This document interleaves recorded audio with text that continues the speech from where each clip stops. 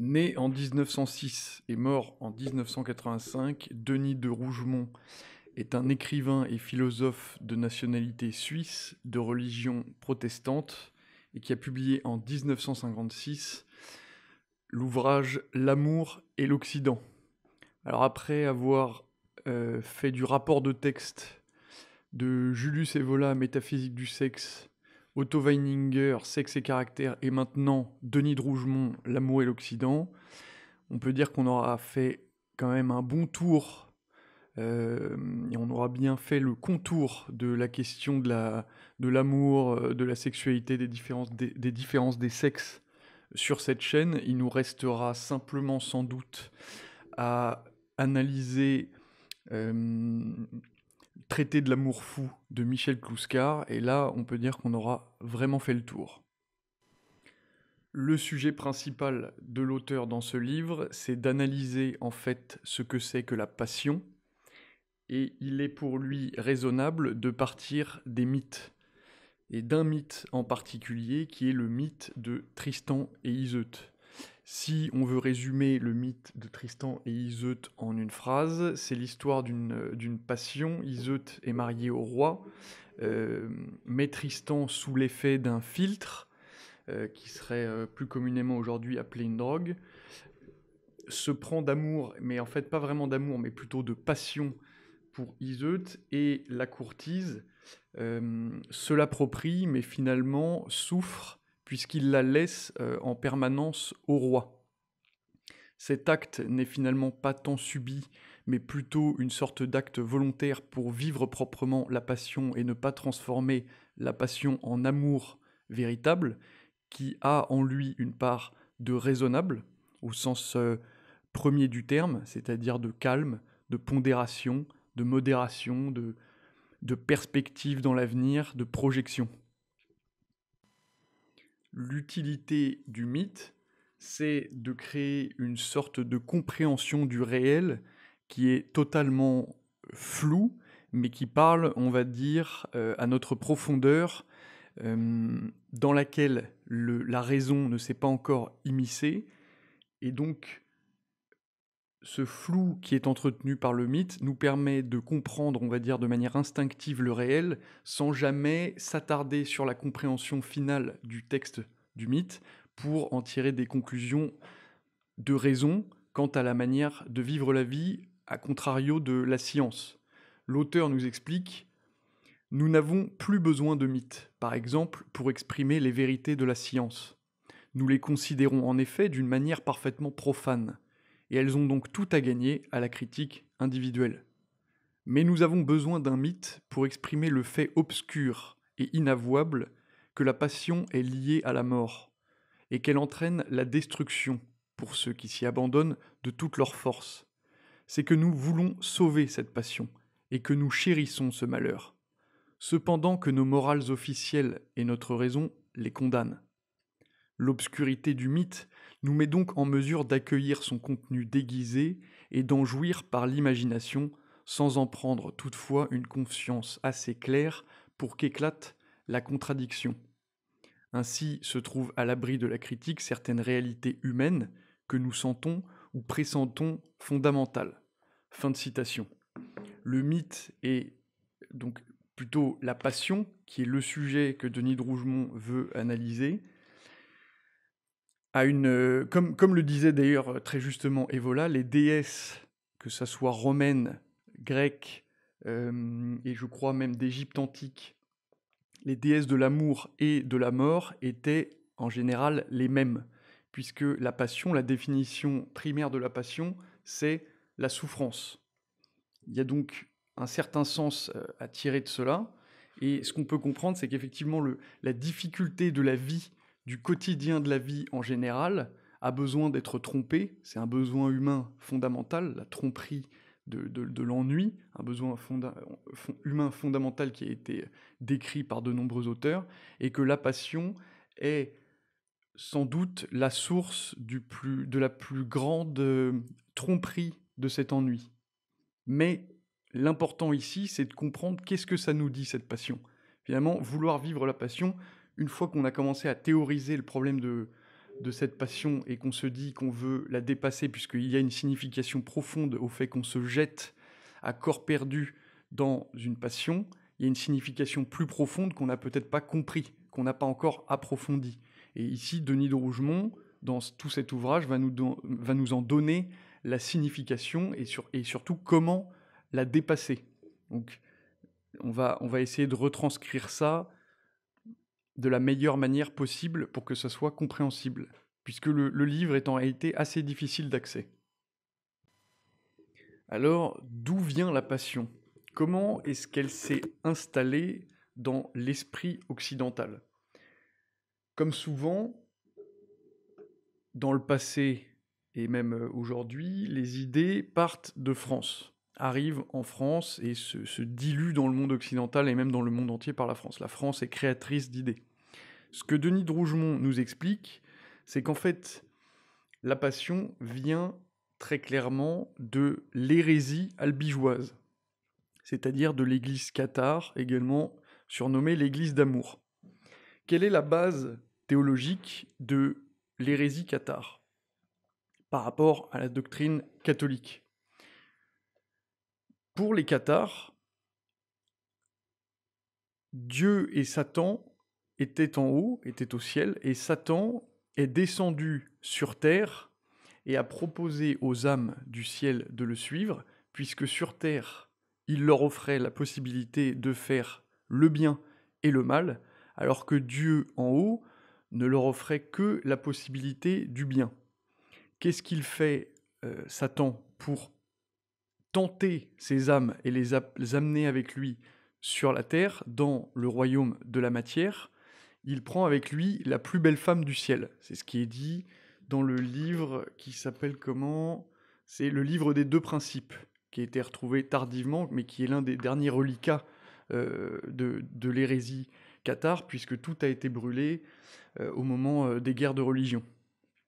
Donc Satan utilise une femme comme appât, et donc, pour les Cathares, une âme, un homme incarné sur Terre, est en réalité une âme qui est descendue du ciel par le fait qu'elle ait été tentée par Satan, et qui donc doit refuser entièrement la réalité terrestre, la réalité du monde, puisque dans une, dans une sorte de, de gnosticisme, pour eux, il y a le bien et le mal, il y a un dualisme radical entre le bien et le mal. Dieu est le bien, la terre est le royaume de Satan et donc est le mal intégralement qu'il faut, qu'il faut refuser intégralement. Donc le but des Cathares était justement de ne pas faire d'enfants pour ne pas euh, créer de nouvelles âmes qui seraient donc directement descendues du ciel et ainsi de se, séparer totalement de tous les biens de la terre dans un espèce d'ascétisme euh, radical et stérile.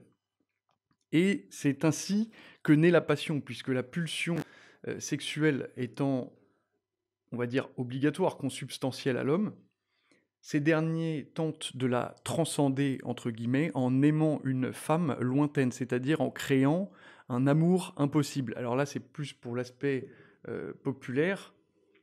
Les, chanteurs, je ne me souviens plus comment on appelle les chanteurs euh, euh, du Moyen Âge, là, qui justement chantaient toujours l'amour d'une femme perdue qui était loin, et qui sont, leurs chansons sont un peu les derniers vestiges du, du, catharisme et de l'hérésie albigeoise. voilà, je pense que on a compris, c'est-à-dire que pour les cathares, la femme, l'homme et la femme ne doivent pas s'unir, l'homme doit en réalité s'isoler totalement, considérer que la terre est vraiment le royaume du mal, et que Dieu est le bien, et qu'il faut retourner à Dieu en se séparant totalement et radicalement euh, de, de, tout ce qui est terrestre. Et ainsi, pour transcender le, désir que peuvent avoir ces hommes pour des femmes, ils décident d'aimer une femme lointaine, une femme inaccessible, euh, un amour impossible, et c'est ce qui se traduit aujourd'hui dans la, modernité par la passion et le fait qu'on aime avoir une, relation avec une femme qui est impossible, une relation qui fait souffrir, mais une relation qui permet de tromper l'ennui. Voilà, voilà comment, quelles sont les origines, qui est la religion, euh, on va dire, albigeoise, et comment ça s'est traduit euh, à l'intérieur des hommes, à l'intérieur des écrits, à l'intérieur de la culture, à travers les siècles, et comment ça ressort aujourd'hui, c'est tout simplement une pulsion de la passion qui n'est pas maîtrisée et qui est chérie puisqu'elle donne énormément de sensations, qu'elle est une forme de chaos, une forme d'envie de mort, et l'amour et la mort, comme nous avons déjà pu le dire, sont extrêmement euh, liés euh, en termes inconscients. Voilà. À l'inverse de ça, il y a euh, la doctrine catholique classique qu'on va expliquer, qui a justement un aspect bien plus raisonnable, et c'est bien pour ça qu'elle a combattu l'hérésie albigeoise. Dans la théologie catholique, on va dire classique, non pas moderne post-Vatican II, mais antérieure à cela, le bien et le mal sont en réalité euh, intimement liés, c'est-à-dire que Dieu est quand même maître de tout et qu'il permet le mal dans une sorte d'antagonisme logique pour que le bien puisse exister. Quelque part, s'il n'y a pas de mal, il n'y a pas de bien. Donc les deux sont intimement liés et le péché est même une occasion de réaliser que l'on peut être euh, hors du péché. Euh, c'est une occasion de pratiquer l'humilité et de faire un retour sur soi-même pour se rapprocher de Dieu, de comprendre que l'homme peut être plus que la matière, bien qu'il soit ici sur Terre, il peut se sauver par un acte volontaire de, d'orientation vers Dieu, euh, voilà, se, rapprocher de Dieu. Donc on voit que l'élément euh, fatal, l'élément central qui oppose le, catharisme et le catholicisme, c'est la séparation totale pour le, pour le catharisme du bien et du mal, alors que la, théologie catholique, c'est bien pour ça qu'elle est beaucoup plus difficile d'accès, elle est très nuancée et très fine, c'est que le bien et le mal quelque part, peuvent s'interpénétrer et que euh, les désirs de Dieu, les voies du Seigneur sont impénétrables et qu'il faut simplement euh, essayer de comprendre à travers des électrochocs qui peuvent être le péché que nous pouvons nous transcender et dépasser notre condition humaine, terrestre, matérielle pour euh, aller tendre vers le ciel, vers l'au-delà, alors que pour les Qataris, la seule manière d'aller vers l'au-delà, c'est en gros euh, une, sorte de, de, coupe totale, se couper totalement du monde, qui va jusqu'à euh, une conception qui consiste à jeûner jusqu'à la mort, par exemple. Donc c'est-à-dire que le but de la vie est de mourir. Alors que pour le catholique, pour la théologie catholique, le but de la vie est de faire triompher le bien, le message de Dieu, le message du Christ sur la terre, et non pas de mourir en étant totalement coupé du monde. Voilà, donc ça, Là, on est vraiment reparti sur les origines de ce que c'est que la passion. Ça vient du catharisme et ça, se traduit dans la modernité de la manière dont on l'a déjà décrite. Et alors justement, dans la dialectique que l'on vient d'exprimer, la dialectique de la théologie catholique qui consiste à, comprendre que le mal et le bien s'interpénètrent et que le mal est parfois autorisé pour réaliser qu'il y a un plus grand bien derrière, l'Église décide justement au XIIe siècle de transcender cette hérésie euh, cathare en ne se centralisant plus uniquement sur euh, le Christ, mais en se centralisant, en, se, en, se, en plébiscitant et en sanctifiant la Vierge Marie, la Mère de Dieu, et euh, pour, justement bien clarifier les choses. Les conciles sont tous accompagnés de l'Esprit Saint selon l'Église. Donc là, il s'agit justement d'un exemple pratique de ce que peut être le, dépassement du péché, le dépassement du mal par le bien. C'est-à-dire qu'un mal apparaît dans le monde, une erreur apparaît dans le monde, et la vérité finit par en triompher en, euh, le dépassant. C'est donc ainsi que l'Église euh, rebondit face à cette, euh, à cette hérésie cathare. Dans la Passion, justement, et c'est l'une des preuves qui permet à Denis de Rougemont d'affirmer que le culte de la Passion, la pratique de la passion vient de, l'hérésie cathare, c'est un résidu de cette culture dans le monde moderne, c'est que la passion justement isole, permet d'isoler l'individu et même les individus du monde, de manière totale et radicale. Je le cite. La passion n'est nullement cette vie plus riche dont rêvent les adolescents.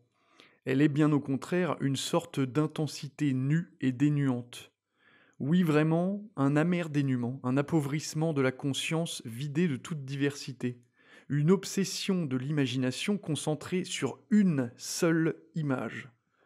Et dès lors, le monde s'évanouit. Les autres cessent d'être présents. Il n'y a plus ni prochain, ni devoir, ni lien qui tienne, ni terre, ni ciel. On est seul avec tout ce que l'on aime. Nous avons perdu le monde, et le monde nous a perdus. C'est l'extase, la fuite profonde hors de toutes les choses créées. Vraiment, comment se défendre de songer ici au désert de la nuit obscure que décrit Saint Jean de la Croix. On voit donc bien qu'il y a vraiment une isolation du monde dans la passion, une espèce de pulsion, euh, non pas anthropologique, mais pour le coup culturelle, qui descend, qui provient de, du catharisme. Au contraire, en fait, de la doctrine catholique qui, au lieu de condamner l'amour, au XIIe siècle également d'ailleurs, fait apparaître le sacrement du mariage. En fait, en faisant cela, ce que fait l'Église, c'est qu'elle sanctifie l'amour, c'est-à-dire qu'elle permet à l'homme de se sanctifier avec ses désirs dans une volonté de suivre Dieu et de suivre le bien. Au lieu d'être dans un désir égoïste et individuel de, de pour, pour suivre Dieu quelque part, ce qui peut, ce qui est possible pour un certain nombre de gens, mais pas pour tout le monde. Donc l'Église qui se veut rassembleuse ne peut pas prôner euh, le système Qatar. ce n'est pas possible puisque c'est un, c'est un énorme égoïsme. Alors que l'Église, justement, en sanctifiant l'amour et en lui permettant d'être, fait apparaître le prochain. C'est-à-dire que pour la première fois, contrairement à l'Église Qatar, l'homme amoureux, l'homme qui s'engage avec une femme, euh, découvre justement la femme non pas en tant que tentatrice, non pas en tant qu'instrument du démon pour le ramener sur Terre, mais en tant que prochain. Elle entre, elle entre dans l'imaginaire de l'homme, et même dans la, dans, le, dans, le, dans la réalité de sa vie quotidienne, comme le prochain.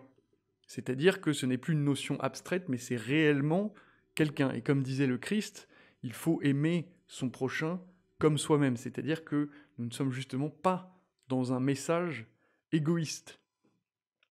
L'Église a donc euh, parfaitement raison, et, j'irais même jusqu'à dire qu'il y a une, véritable poésie en réalité dans cette, euh, dans cette sanctification de l'amour par l'Église.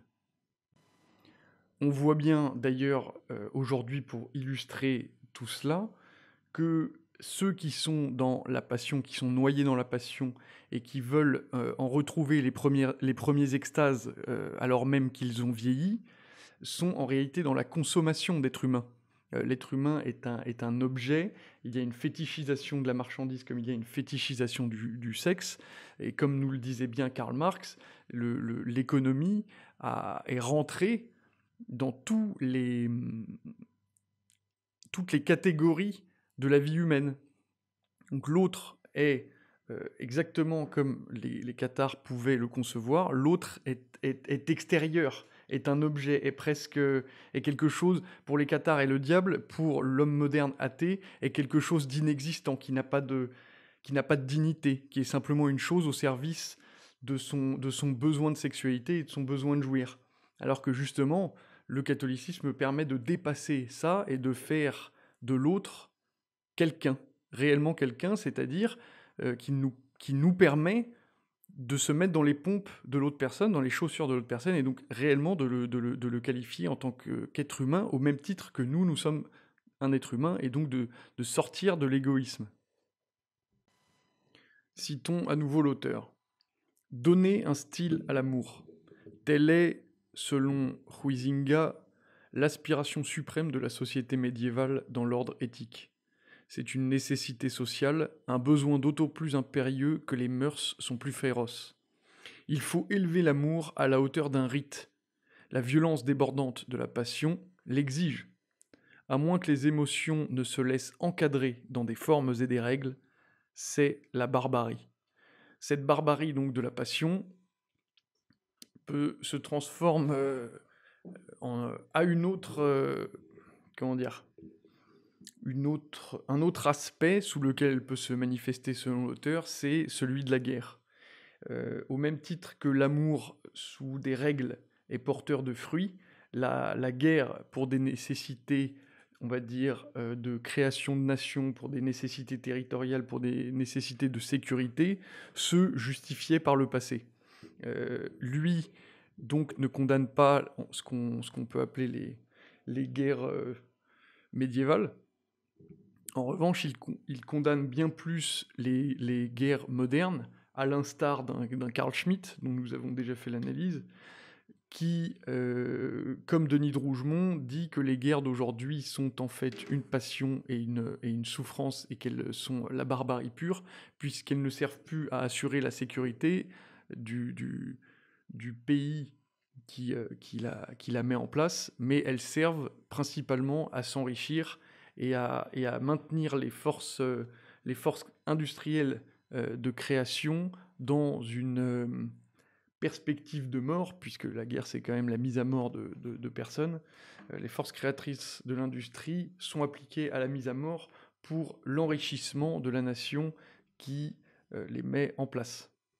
Donc au même titre que l'amour doit être contrôlé, encadré, autrement c'est la, barbarie. La guerre doit être contrôlée et encadrée, d'où le respect d'ailleurs de ce qu'on appelle les lois de la guerre. C'est exactement tout l'ouvrage de Carl Schmitt, c'est finalement le fond du livre, c'est de dire les lois de la guerre ne sont plus respectées, maintenant on fait la guerre pour des causes humanitaires, pour crimes contre l'humanité, et c'est ça qui fait qu'on sort totalement des lois de la guerre et qu'on devient en fait totalement barbare en croyant s'émanciper de l'époque barbare qui, elle, en réalité, était bien plus distinguée, bien plus encadrée et bien plus portée vers le bien, le beau et le vrai que maintenant. En tout cas, euh, elle avait mis les garde-fous pour rester dans cette direction. Les garde-fous ont tous euh, sauté petit à petit. La question qui ressort donc de tout ça, c'est comment cesser d'être le jouet de la passion? Comment avoir conscience et comment donc déjouer le problème en nous orientant vers quelque chose de plus grand, de plus beau, de plus fidèle. La réponse de Denis de Rougemont, c'est justement d'être en fait un occidental. Je dirais même personnellement un Français, un véritable Français. C'est-à-dire que le but, c'est justement d'approfondir les questions. En fait, c'est d'être euh, intelligent, cultivé, de se documenter, et de prendre le temps de réfléchir pour que nos actions soient raisonnables et de ne pas uniquement vivre euh, en permanence dans le réel, mais savoir également se retirer pour réfléchir, prendre le temps de la profondeur et, ainsi éclairer notre âme, notre, notre moi intérieur sur les actions que nous devons mettre en place. Je cite l'auteur pour terminer. Il est certain que l'occidental christianisé se distingue de l'oriental, par son pouvoir d'approfondir l'être créé dans ce qu'il a de particulier. C'est tout le secret de notre fidélité. La sagesse orientale cherche la connaissance dans l'abolition progressive du divers. Nous, nous cherchons la densité de l'être dans la personne distincte, sans cesse approfondie comme telle. D'autant plus nous connaissons les choses particulières, d'autant plus nous connaissons Dieu, dit Spinoza. Cette attitude, qui définit mon Occident, définit en même temps les conditions profondes de la fidélité, de la personne, du mariage et du refus de la passion. Elle suppose l'acceptation du différent et donc de l'incomplet, la prise sur le concret dans ses limitations. Le chrétien prend le monde tel qu'il est et non point tel qu'il peut, tel qu'il peut le rêver. Son activité créatrice consiste alors à retrouver en profondeur toute la diversité du monde créé, et c'est ainsi que la Renaissance définit l'homme un microcosme. On comprend donc bien que, en fait, toute cette somme d'intelligence, euh, c'est moi qui parle, c'est la fin de la citation, on comprend, on comprend donc bien que euh, tout ce qui définit l'intelligence, tout ce qui définit la culture, etc., euh, nous permet de nous émanciper, et cette émancipation se fait principalement, également, à travers Dieu et à travers son message. Et donc le message de Dieu, c'est le message du Christ, c'est les évangiles. Sortir de la passion, c'est donc sortir du chaos entrer, on va dire, dans la sanctification de l'amour, c'est-à-dire dans le mariage, c'est-à-dire c'est rentrer dans l'ordonnée, c'est la maturité, et c'est d'ailleurs pour ça que la passion est quelque chose d'adolescent, et que en réalité ne sont adolescents que ceux qui ne sont pas capables de sortir de la passion, qui ne le veulent pas puisqu'ils ne sont pas capables de la théoriser. Déjà, premièrement, ils n'en ont pas conscience, ils sont à la recherche de ce bonheur perdu un peu comme euh, peut le décrire également euh, Julius Evola dans, euh, dans la dualité des sexes, dans le fait que l'homme veuille retrouver dans la femme l'être ultime qui est et l'homme et la femme. Voilà, on est un peu, on est un peu là-dedans. Et le, l'idée de Rougemont, c'est de revenir au mariage pour son essence, bien que dans le passé, et d'ailleurs il le critique énormément, le mariage ait été beaucoup dévoyé. Et là, c'est revenir au mariage pour revenir au prochain, pour revenir à l'approfondissement de l'homme et pour donc de l'autre, de l'homme, de la femme, d'autrui, de, de, prendre le prochain tel qu'il existe et donc se rendre compte de la diversité du monde et remplir son microcosme de cette diversité et ainsi, euh, devenir un homme euh, intellectuellement et donc devenir viril intellectuellement et donc choisir le raisonnable au-delà du chaotique.